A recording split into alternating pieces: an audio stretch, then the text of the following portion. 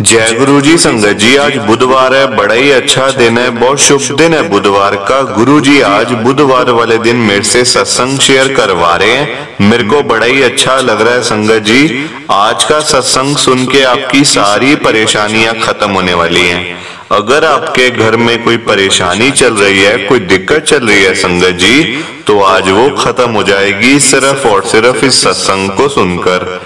सभी तरह की परेशानी जैसे पैसों को लेकर दिक्कत पैसों की परेशानी फाइनेंशियल प्रॉब्लम या आपके घर में संगत जी रोज रोज कलेश होते हैं घर में लड़ाइयाँ झगड़े होते हैं या फिर घर में कोई और प्रॉब्लम चल रही है संगत जी तो उसके लिए गुरु जी ने आज ये बुधवार का स्पेशल सत्संग ब्लेस कर दिया है। संगत जी ये चमत्कारी सत्संग है और सिर्फ़ आपके लिए है। संगत जी ये आज ही आपको सत्संग सुनना पड़ेगा। तभी आपकी सारी परेशानियाँ खत्म होंगी। संगत जी कल मत कर देना।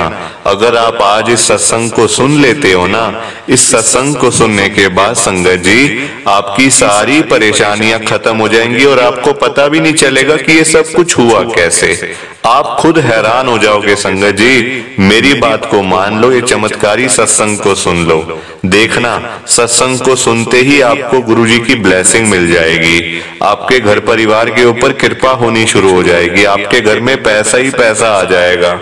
संगत जी, आप मेरी बात को मानो। आज के इस बुधवार के स्पेशल सत्संग को पूरा सुनो, ध्यान से सुनो, बीच में छोड़कर मत चले जाना, क्योंकि संगत जी, आज का सत्संग सुन के आपको गुरु जी की बड़ी बड़ी ब्लेसिंग मिलने वाली है। तो अगर आप सत्संग को बीच में छोड़ के चले गए, अधूरा छोड़ के चले गए तो आपको गुरुजी की ब्लेसिंग नहीं मिल पाएगी। संगत जी, लोग आजकल ऐसे ही करते हैं। सत्संग को बीच में छोड़ के चले जाते हैं, सत्संग को अधूरा छोड़ के चले जाते हैं और फिर वही लोग बाद में बोलते हैं हमें तो गुरु जी की ब्लेसिंग ही नहीं मिली। हमारा तो गुरु जी ने कल्याण ही नहीं किया। हमारे घर परिवार पे तो कृपा ही नहीं हुई गुरु जी की। तो संगत जी, मैं बिल्कुल भी नहीं चाहता कि आपके साथ भी कुछ ऐसा हो, बल्कि संगत जी, मैं तो आपका भला चाहता हूँ, मैं तो आपका अच्छा चाहता हूँ। मैं तो चाहता हूँ आपके घर में पैसों की बारिश हो जाए, आपके घर पे पैसा ही पैसा आ जाए। आपको गुरु जी की ब्लेसिंग मिल जाए, आपके घर परिवार के ऊपर कृपा होनी शुरू हो जाए गुरु जी महाराज की। गुरु जी आपका कल्याण करें गुरु जी आपके घर में सुख, शांति बनी रहे संगत जी। मैं तो ये कहता हूँ, मैं आपका भला चाहता हूँ संगत जी। सो प्लीज़ आप इस सत्संग को पूरा सुनो, ध्यान से सुनो और जाते जाते संगत जी, मेरी आप सबसे हाथ जोड़ के ये विनती है, रिक्वेस्ट है कि आप इस सत्संग को लाइक भी कर देना शेयर भी कर देना। नीचे बटन आ रहा है लाइक करने वाला शेयर करने वाला। अगर आप एक एक करके भी सत्संग को लाइक करते जाओगे ना संगत जी तो ये सत्संग बड़ी आगे तक जाने वाला है। और संगत भी इस सत्संग को सुन सकेगी और गुरु जी की ब्लेसिंग उन सबको भी मिलेगी जैसे हम सबको मिल रही है। जय गुरु जी शुक्राना गुरु जी महाराज का। संगत जी, ये बात तो गुरु जी ने खुद बोली हुई है, आपने भी सुना होगा। जो सत्संग को पूरा सुनेगा, जो सत्संग को ध्यान से सुनेगा, मैं तो उसी को ब्लेस करूँगा। मैं उसी का कल्याण करूँगा। अब ये आपके ऊपर है संगत जी, कि आपने गुरु जी की ब्लेसिंग लेनी है या फिर नहीं लेनी है। जय गुरु जी संगत जी, आज हम सब दिल्ली की एक संगत सुनील आनंद अंकल जी का सत्संग सुनेंगे। मैं सत्संग को स्टार्ट कर रहा हूँ। मैं सुनील आनंद उत्तम नगर दिल्ली के अंदर रहता हूँ। मेरी जर्नी गुरु जी के साथ 2023 के अंदर शुरू हुई थी, यानी कि पिछले साल में।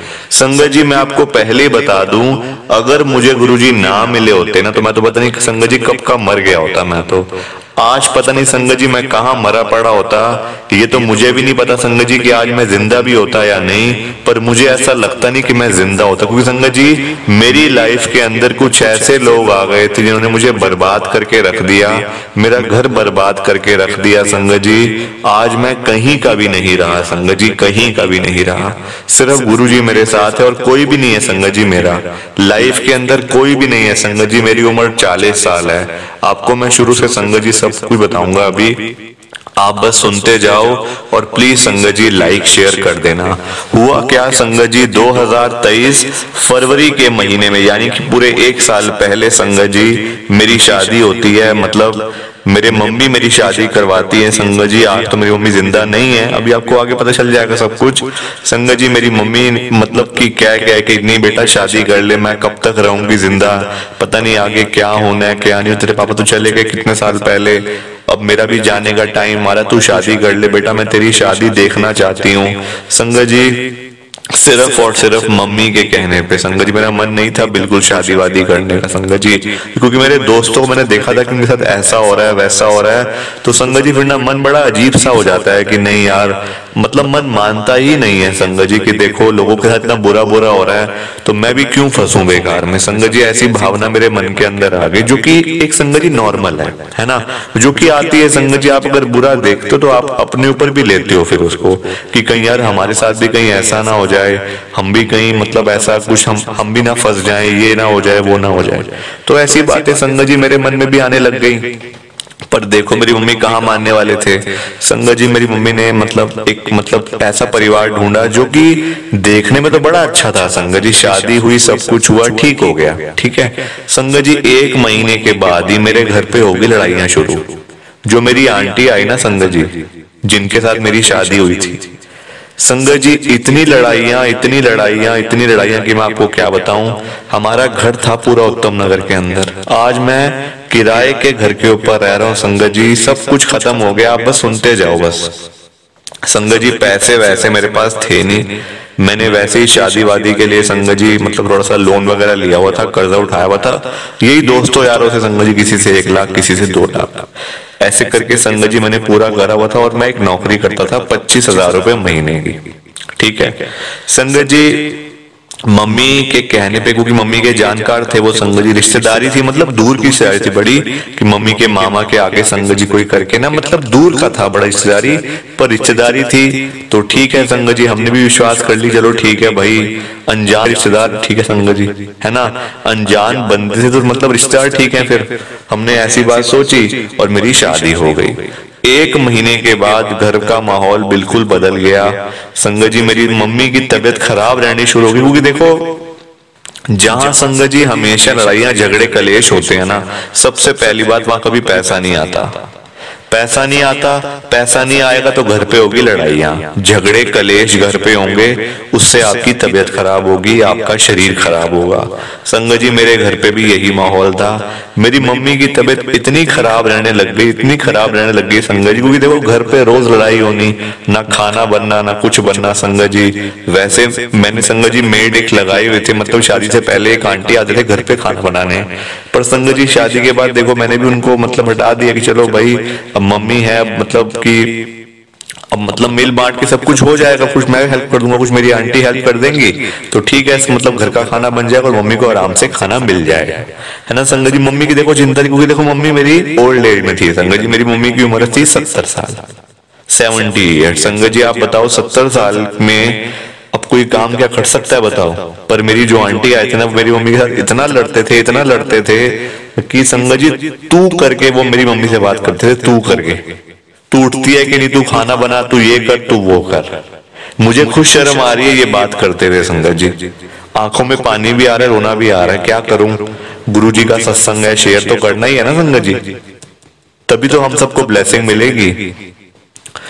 मैं इतना घबरा गया, मैंने कहा, यार, मैं तो फंस गया बिल्कुल। संगत जी मेरा घर उस समय कितने का था?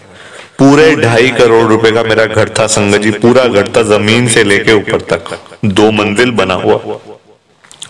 मतलब आप देखो मेरे पापा वो घर बना के गए थे। संगत जी हमारे पास इतना पैसा वैसा नहीं था। बस घर था अपना मैं नौकरी करता घर का खर्चा चलता संगत जी बस ऐसे था। मतलब नॉर्मल मिडिल क्लास फैमिली से मैं बिलोंग करता हूँ। क्या हुआ? घर पे होगी लड़ाइयाँ झगड़े? वहाँ से जो लोगों से जिन मतलब जिनसे मैंने पैसे लिए हुए थे उधार मतलब कर्जा लिया हुआ था लोन लिया हुआ था लोगों से मतलब अपने दोस्तों यारों से किसी से एक लाख किसी से ढाई लाख किसी से दो लाख क्योंकि संगत जी शादी में ना खर्चा होता है। है ना? आजकल कोई वो तो टाइम है नहीं पहले वाला। शादी पे संगत जी मिनट मिनट में पैसे लगते हैं। तो मैंने ले लिया। मम्मी को मैंने बताया नहीं इस बारे में। संगत जी, लोग घर पे आने शुरू हो गए कि भाई मेरे पैसे दे, भाई मेरे पैसे दे। और मेरी आंटी जो कि, जिन्होंने हमारा जीना मुश्किल करा हुआ था, वो और संगत जी फिर मतलब बूस्टअप हो गया। अच्छा पैसे लेके शादी करी है, ये करा है, वो करा है। घर का बिल्कुल माहौल ऐसा कर दिया संगत जी, जैसे आप मतलब हिसाब लगा लो, जैसे सड़क के ऊपर लोग नहीं लड़ते जो, सड़क के ऊपर खड़े होके। वैसा संगत जी हमारे घर का माहौल हो गया था। आप हिसाब लगा लो, अपने दिमाग में पूरी इमेज बना लो संगत जी। एक तरफ़ मैं और मेरी मम्मी, दूसरी तरफ़ मेरी आंटी। हाथ जोड़ जोड़ के संगत जी, मैं अपने मतलब सुबह सुबह मैं नौकरी पे जाता था और जब मैं वापस संगत जी शाम को घर पे आता था ना जब तो मेरी मम्मी या तो किचन में बैठ के रो रही होती थी या घर के बाहर बैठ के रो रही होती थी। पर मैं क्या करता संगत जी? मैं तो बिल्कुल फंस गया था ना, मैं तो देखो। मेरा तो बिल्कुल मन ही नहीं था शादी करवाने का। पर अब क्या करें? जब संगत जी कोई माने ना तो क्या करें? बताओ मुझे आप। मैंने मम्मी को बोला भी था, मम्मी, ऐसा मत करो। बिल्कुल मत करो, क्योंकि मैं चाहता ही नहीं क्योंकि मेरे दोस्तों के साथ इतना बुरा हो रहा है, इतना बेचारे फंस चुके हैं। कोई कहाँ पड़ा हुआ है, कोई कहाँ पड़ा हुआ है। क्या मतलब क्या होगा संगत जी? आप मुझे बताओ। है ना? तो मेरी मम्मी को साफ़ मना करते थे, पर मेरी मम्मी संगत जी मानी ना, मम्मी कहते, नहीं नहीं, मैं देखने जाती हूँ, मेरा आखिरी वक्त चल रहा है, मैं तेरी शादी देखने जाती हूँ। संगत जी वो दिन भी आ गए। देखो, घर का माहौल खराब था तो आपकी तबीयत ठीक कैसे रह सकती है? है ना? एक तरफ़ घर पे लड़ाइयाँ, झगड़े, ना खाना बन रहा, ना कुछ। सुबह से लड़ाई शुरू। सुबह उठती, छह बजे लड़ाई शुरू, बताओ। रात को बारह बारह बजे तक संगत जी लड़ाइयाँ होती थी, घर के अंदर हमारे। पहली लड़ाई होती सुबह छह बजे और आखिरी लड़ाई रात को बारह बजे, साढ़े बारह बजे। आप बताओ कि बंदा कैसे ठीक रहेगा? जो कि वैसे ही ओल्ड एज में है। जिनको ना खाना मिल रहा है, ना टाइम टू टाइम ना अपनी दवाई मिल रही है, ना कुछ मिल रहा है। बताओ आप। मेरी मम्मी चले गए मेरे को छोड़ के? वो चले गए संगत जी। अब मेरी आंटी चाहती ये थी। मेरे को ऐसा लग रहा है। संगत जी साफ़ मतलब लग कह रहा है, वो चाहती ही ये थी कि इनकी मतलब कि जो जो मेरी मम्मी है, वो जाए इस दुनिया से। क्योंकि अभी वो घर था संगत जी मम्मी के नाम से। मेरी मम्मी गए क्योंकि मैं ही हूँ संगत में कोई भाई बहन नहीं, मैं अकेला ही हूँ। तो उनको पता चल गया कि अभी घर इसके नाम से हो जाएगा। संगत जी, वो अपने घर चले गए, वहाँ से मुझे एक दिन आ जाता है लेटर कोर्ट का, कि हमें तो डाइवोर्स चाहिए आपसे। संगत जी बताओ जरा। शादी के दो महीने के अंदर अंदर मेरी मम्मी की डेथ हो गई। और वहाँ से लेटर आ गई कि डाइवोर्स चाहिए। दोस्तों यार तो बात करी मैंने। मैंने कहा, भाई, देख, ऐसा हो रहा है यार मेरे साथ, मैं क्या करूँ? मैं तो बिल्कुल फंस चुका हूँ। अब ये घर भी मेरे नाम से हो गया अब मैं क्या करूँ?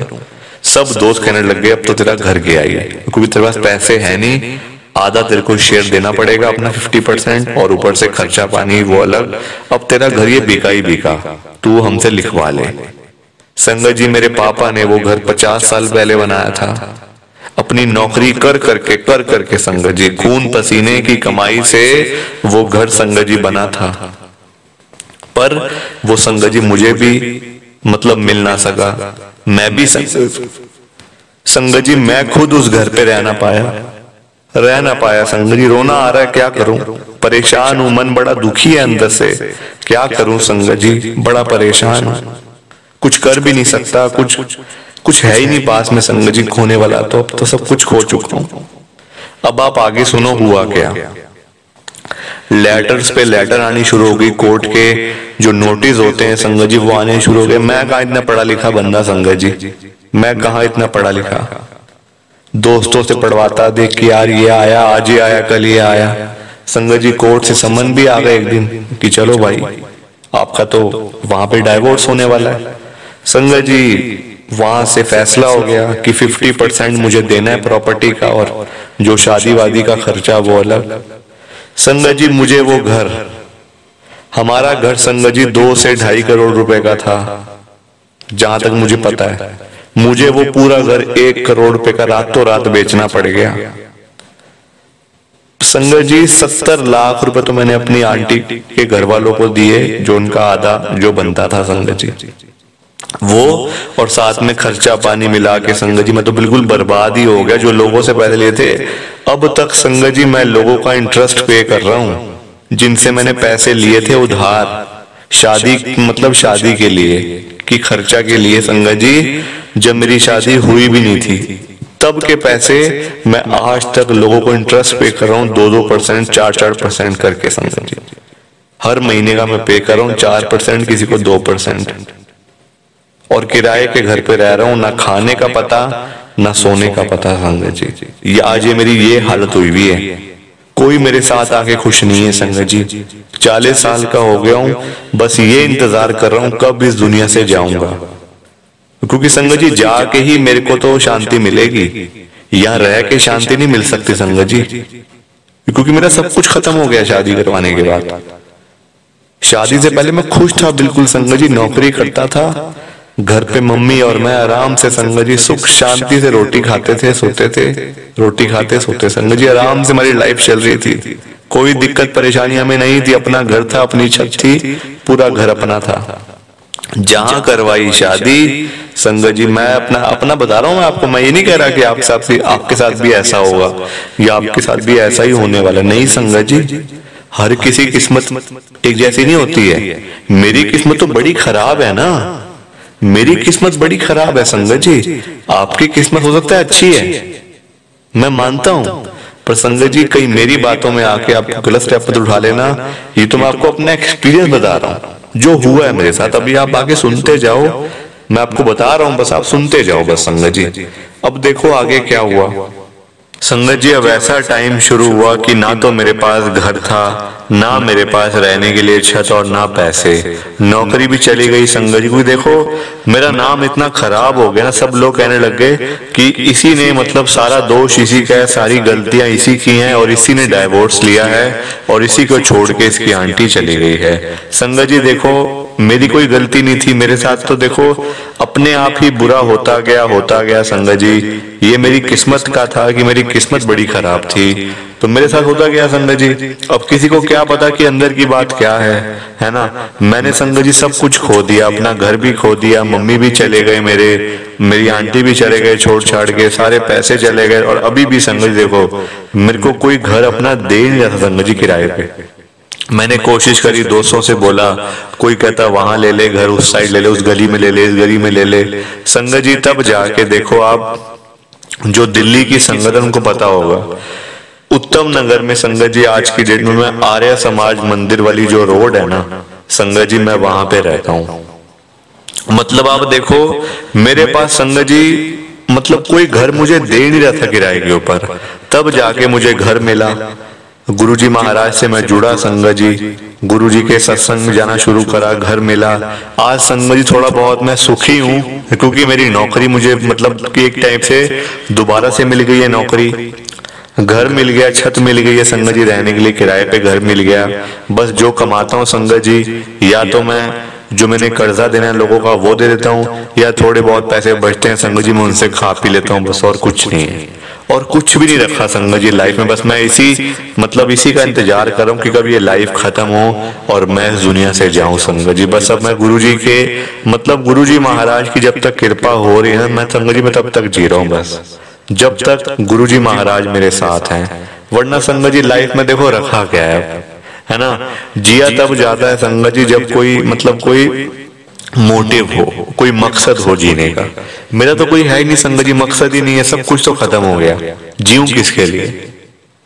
और मैं आपको बताऊँ संगत जी, ये जो शादी, वादी, जो भी होते हैं ना संगत जी ये बड़ी सोच समझ के किए जाते हैं। ये, डिसीज़न ऐसे होते हैं संगत जी कि आप मुझे देख लो। मैं मेरा हंसता खेलता परिवार था। चाहे परिवार में दो ही फैमिली मेंबर थे मैं और मेरी मम्मी। पर संगत जी सुखी तो थे ना? सुखी तो थे। किसी का कोई कर्जा देना नहीं था। किसी का कोई पैसा हमें देना नहीं था संगत जी। आराम से रह रहे थे चाहे सूखी रोटी खा रहे थे पर आराम से संगत जी हम लोग रह तो रहे थे ना? शादी करवा के तो संगत जी मेरा बिल्कुल बर्बाद ही हो गया मैं तो। तो आप भी संगत जी सत्संग से सीख आपको ये मिलती है देखो। ये जो शादी होती है या जो भी संगत जी रिलेशन आपस में जो बनते हैं ना है ना। एक परिवार के दूसरे परिवार के साथ। संगत जी बड़ी सोच समझ के बनाए जाते हैं। एकदम से किसी की बातों में आके या कोई चाहे आप अंकल हो चाहे आप आंटी हो। संगत जी कभी भी किसी पे अंधा विश्वास मत करना। अपना दिमाग चलाना संगत जी, क्योंकि अगर आपने दिमाग नहीं चलाया ना तो आप बाद में जाके संगत जी, आप मेरी हालत देख ही रहे हो, आज मैं क्या हूँ? जीने का मकसद ही खत्म हो गया। बस ऐसे जिए जा रहा हूँ, बस एक एक दिन करके टाइम पास हो रहा है, संगत जी, नौकरी करता हूँ, सुबह जाता हूँ, शाम को आता हूँ। घर आके रोटी बना के खा के सो जाता हूँ, बस अब यही है और कुछ नहीं है लाइफ में। कुछ भी नहीं है संगत जी, कुछ भी नहीं है। मतलब आप देखो, लोग पता नहीं कैसे कर लेते हैं, कैसे सब चीज़ें हो जाती हैं। संगत जी, मैं तो अपने आप को ये समझता हूँ कि अगर मैं गुरु जी के साथ ना जुड़ा होता ना संगत जी मतलब मैं एक तरफ़ गुरु जी के सत्संग में गया, वहाँ से मुझे घर मिल गया किराए का। मेरे दोस्त का फ़ोन आ गया, अरे वो शर्मा जी हैं, वो तेरे को अपना घर दे रहे हैं, किराए पे एक रूम का सेट है।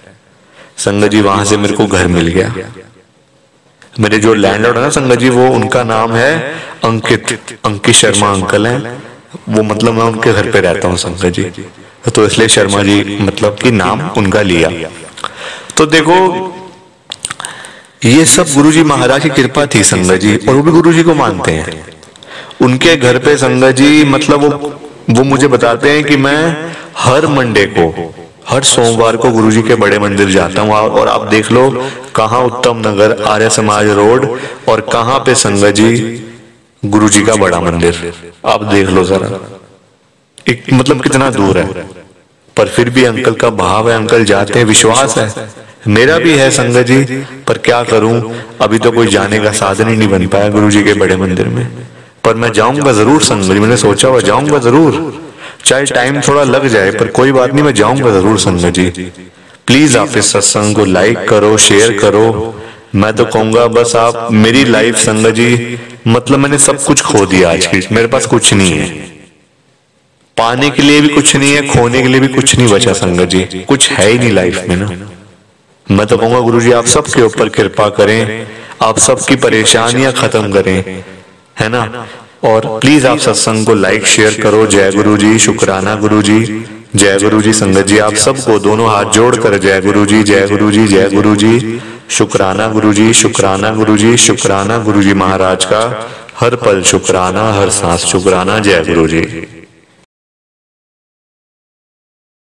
संगत जी, सत्संग अच्छा लगा तो लाइक करें शेयर करें और ब्लेसिंग ऑलवेज गुरु जी चैनल के साथ में ही जुड़े रहिए ताकि आपको गुरु जी के नए नए सत्संग सुनने को मिल सके।